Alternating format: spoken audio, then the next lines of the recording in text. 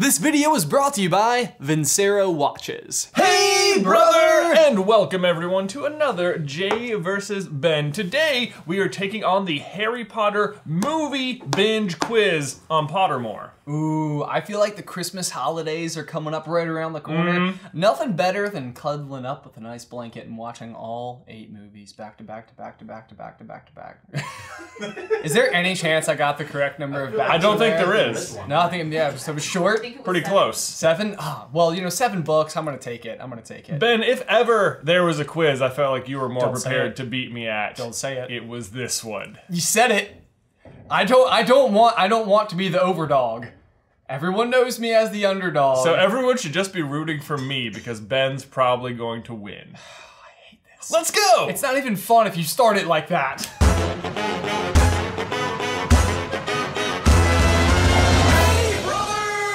Guys, before we get started, we have to give a huge thank you to today's sponsor, Vincero Watches. We are narrowing in on the holidays, and if you're looking for that last minute gift for that hard to buy for person, I might have just the thing. Vincero makes a wide selection of gorgeous watches for both men and women. They're super high quality and totally affordable. Since discovering them personally, I have actually picked up two. This is my second one, and they have just become a staple of my daily outfits, and I get compliments on them all the time. As an added bonus, you can get 15% off your entire order by going to vincerowatches.com slash SCB holidays. Be sure to check it out. I promise you won't regret it. Again, it's vincerowatches.com slash SCB holidays. So before we even begin, I just just like to share with the class my awesome drawing of Ben. It's, I mean, it's identical to me.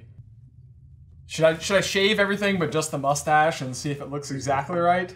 It are, it's already perfect. It's, it's already perfect. that should just be our new piece of merch everywhere. You want this on a shirt, right? A magnet, a pin, everything. Here's how the quiz is going to work. Basically, Derek is going to ask us questions. We will write the answers down here without the multiple choice. But if we both agree that we don't know and would like to hear the multiple choice, then we can hear it. I don't know why, but for some reason with the movies, I feel less likely like that we're gonna have to call on it. I feel like it's more likely. I think you have watched them significantly more than me. I don't know. We'll see. We We'll will. see. If you want to play along with us, there is a link to this quiz in the description down below. How many questions do we have? Just 20 for this one. just Just 20. 20? Yeah. Oh man, short quiz. So they does- count for more. Does infinite, qu- infin, infamous question number 17 now all of a sudden become infamous question number 12? I don't know. We actually got some cool data from a Super Carlin friend about comparing how we did on all the quizzes. We did. Yes. It made me feel so bad about myself. Oh no, Ben! It just makes your three wins so impressive. All three of them. How many of these have we done? Soon to be four, probably. This is not cool. I need to be the underdog. It's the only thing I have going for me.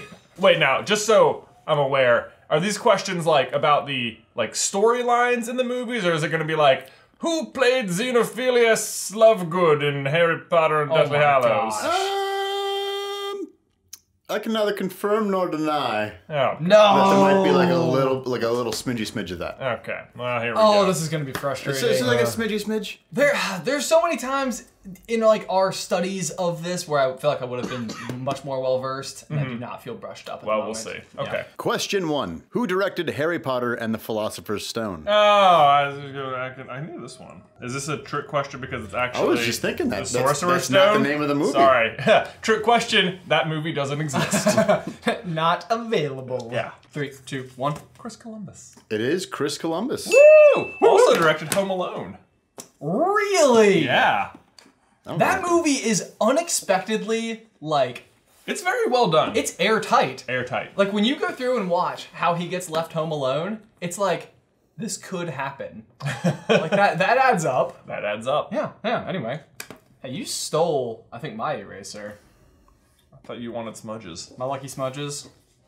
Not today. If I'm the overdog, I don't get lucky smudges. Question two: What is the very first line of the film? What is the very first line of the, Of the whole series. Sorcerer's Stone? Yes. Okay. Okay. Hold on. Hold on a second. Let me go back in my mind's eye. Like I don't have the wording right, but I do think it's the right sentiment. Me too. I think that's sort of exactly. I think okay. Well, if it if it is the same sentiment and we just have some phrasing wrong, I think we go ahead and count. We're it. gonna count that. if Okay. if it's indeed what I think it is. Yeah, same Okay, same all right. All right, ready? Yeah. two, Three, two, one. I thought I might see you here tonight, Professor McGonagall. Oh, you have the same thing. Yes, I have the same thing. Uh, it's essentially the same thing. I should have known that you would be here. Okay. Ah, okay, okay. Yeah, I'm counting that. Yep, Yeah. for sure. Question three. In the following famous Snape line, where does actor Alan Rickman place a very long pause? The line is, people will think you're up to something. The quote is people will think you're up to something. Correct. Okay. He puts a very long pause in there. All right. Three, two, one. Between your and up. I said between up and two. Ooh, I think 'cause I'm remembering. People will think you're up to something. Uh, the correct answer is People will think you're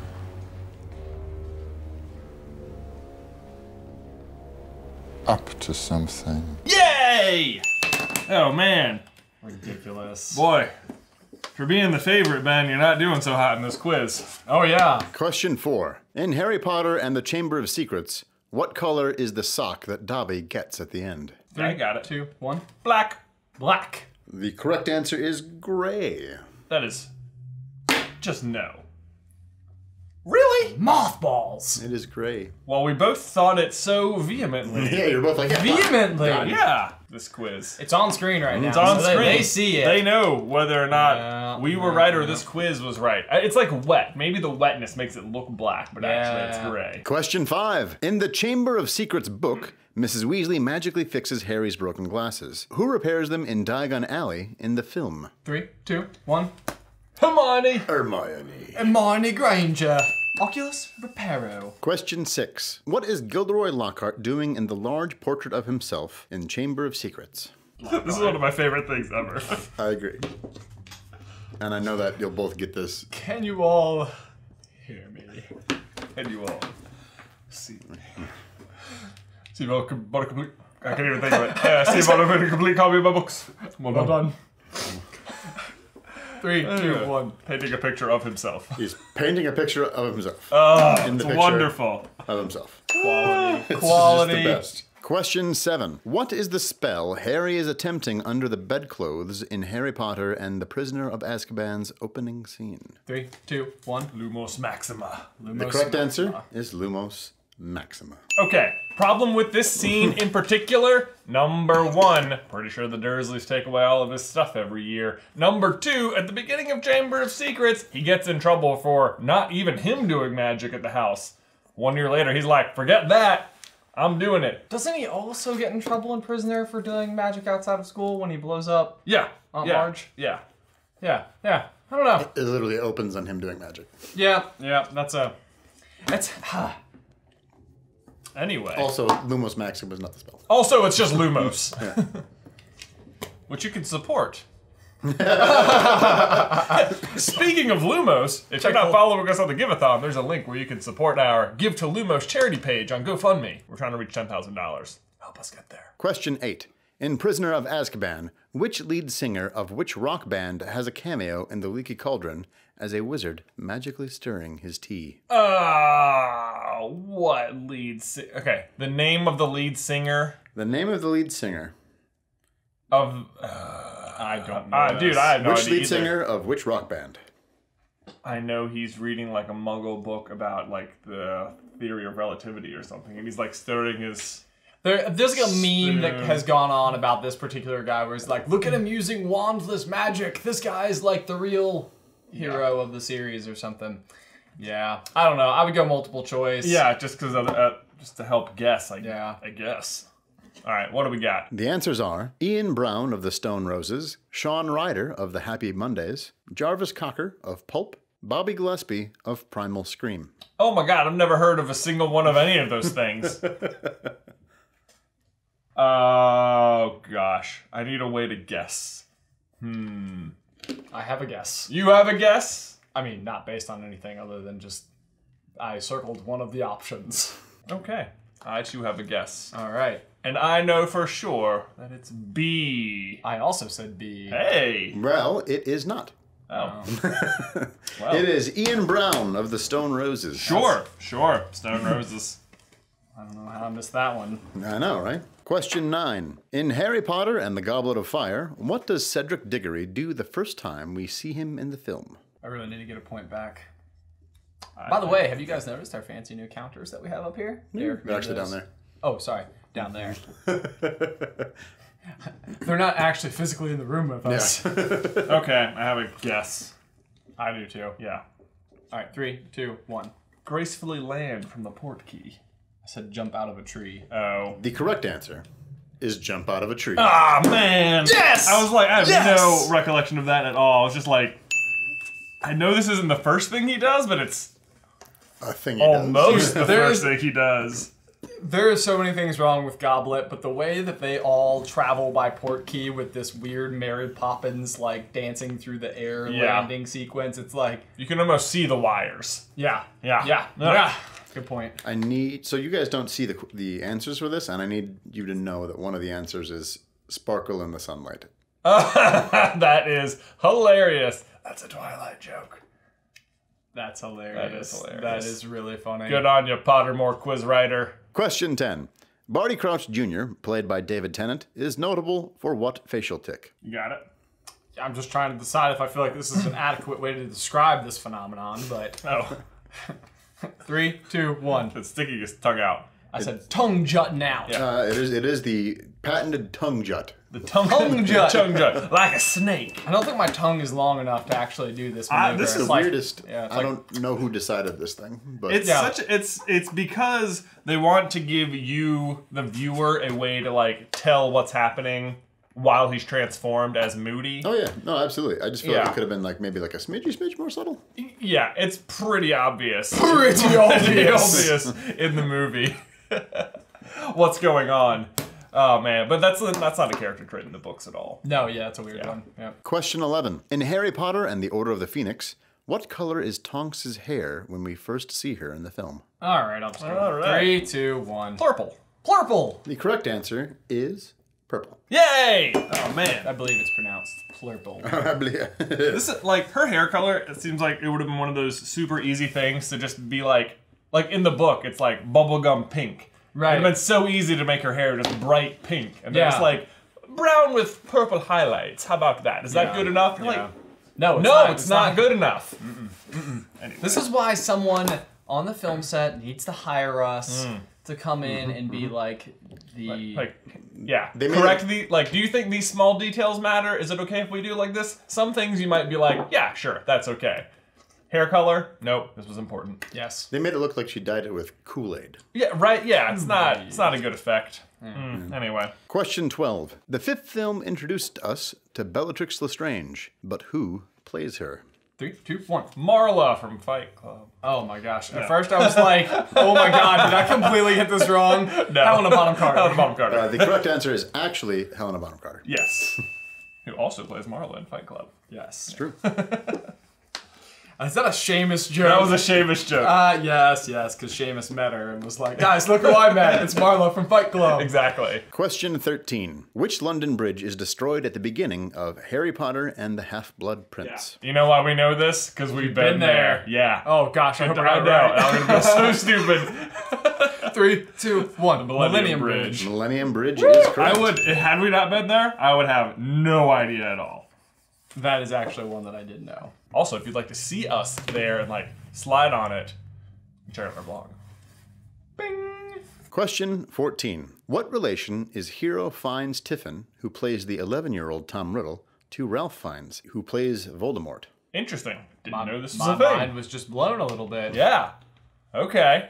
Which version of Tom Riddle? It's got to be like the, The one 11 year old's got to flashback. be the yeah. orphanage one. Right. The not as good one. The not- I like to think of them as. Well, the 11 year old was fine. The Sure. real issue was the Slughorn. right. The flashback. Slughorn one is the problem. Right. That Yeah. that kid. No offense to him, I'm sure he's a great guy. Yeah. But he didn't look like the type of high school persona that has like all the upperclassmen following his. Right. He didn't look His like jaunt. like Chamber of Secrets Tom Riddle. Yeah.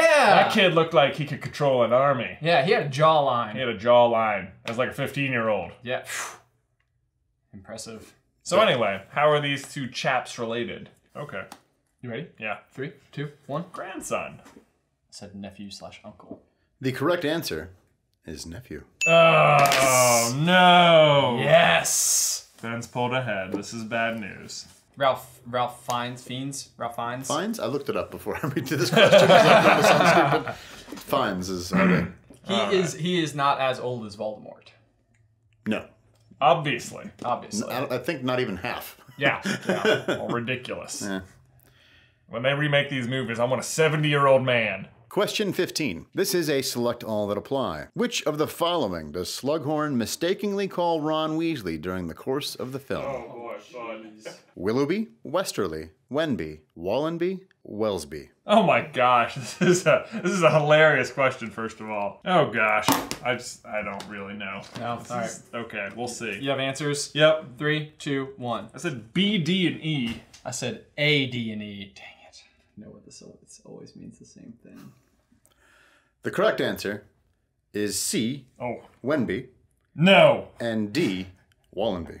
Man, I, I wrote these down and I was like, I the only one I feel pretty certain about is it's not C. I know, me too. I, was like, for sure not that Not one. even close. Question 16. In Harry Potter and the Deathly Hallows Part 1, what Nick Cave song do Harry and Hermione dance to in the tent? Oh no, these are what? These are oh, who knows this? Nick Cave song. Is he the lead singer of Stone Roses? Stone Roses. Making a comeback. They gonna come back? It's an Easter egg of an Easter egg. Yeah, that's right. We used his song later on. Gosh. I don't know. What's the multiple choice?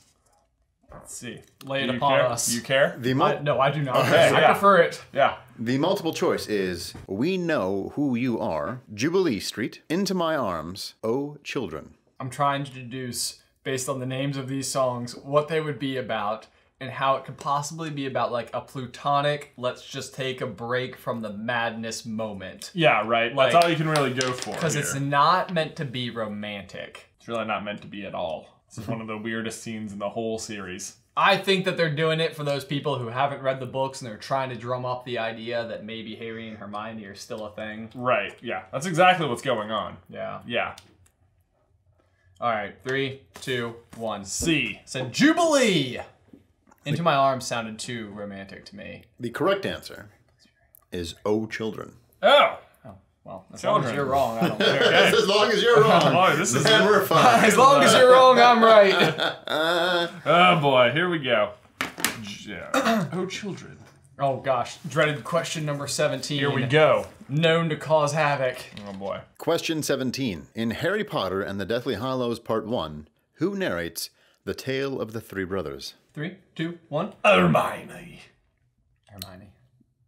I mean, Emma Watson, but Hermione, yes. What? Did they put They- Emma they put- Watson? they put they put the actors' names. oh my gosh, no. No. Okay, Just but saying, yeah. everyone, I'm not. I I'm, know, I know. I'm, I'm, I'm not not accepting that answer. Okay. Yeah. Yeah. My gosh. He really wasn't in character at that time. It's a uh, Right. separate short story inserted into the movie. Right. We also happen to ask Emma. Whatever. Question 18. In Harry Potter and the Deathly Hallows Part 2, what color dress is Albus and Aberforth Dumbledore's sister Ariana wearing in her portrait? Three, two, one. Blue. It is blue. Uh, boy.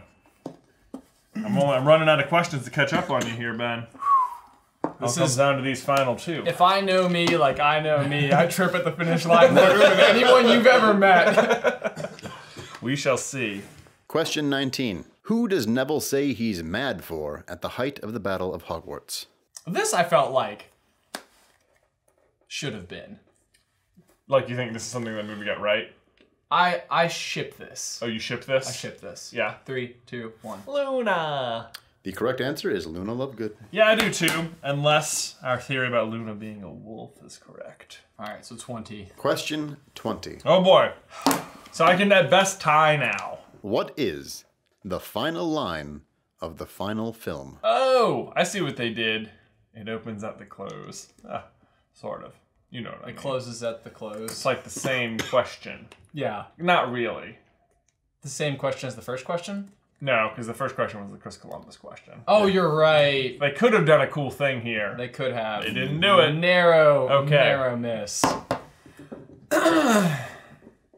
Now, oh gosh, let's see. This is like I would like to verbalize my thought process to myself, But I can't do that because you're here. Mm-hmm, mm-hmm, mm-hmm. I can't have you mean- stealing my thoughts. Ben doesn't need to get this question right. He just needs you to not. That's true. That's true. But I need him to get it wrong. See, and I have to get it right. yeah, Just a tie. correct. So there are still some stakes. This has been well sorted. Yes. You are down by one. Those are the possible outcomes. Outcomes. Is there ever been to lose a point? For those of you at home. okay, all right. Okay. Think, think, think, think. Okay. Okay. It's like I can't I can't figure out like where the dialogue cuts off. I know, I know. I'm like, uh, I'm, I feel like there's like a few possibilities floating through my brain. Ah. And then I'm like also interjecting book text, you know? Oh, I know. I Yeah. know.